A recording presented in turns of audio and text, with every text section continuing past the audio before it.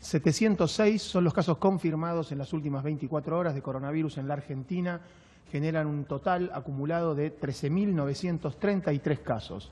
De estos 706, de las últimas 24 horas, el 51% poseen residencia en la Ciudad Autónoma de Buenos Aires, el 44% en la provincia de Buenos Aires. 16 provincias no han notificado casos en la jornada de ayer.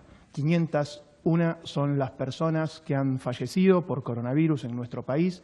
La tasa de letalidad desciende al 3,6% y la tasa de mortalidad general es de 11 casos por cada millón de habitantes.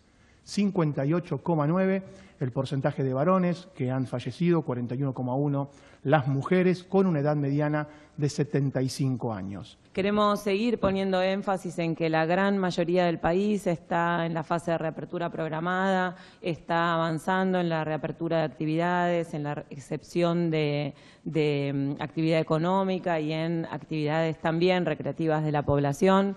Eh, la ciudad de Córdoba, la provincia de Río Negro en algunas ciudades, la ciudad de Neuquén están trabajando fuertemente eh, para mm, controlar algunos casos que fueron detectados y, la provincia de Chaco para seguir trabajando en relación a la situación de gran resistencia.